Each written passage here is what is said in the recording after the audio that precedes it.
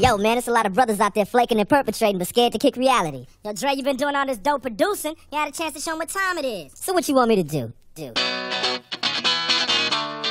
You are now about to witness the strength of street knowledge.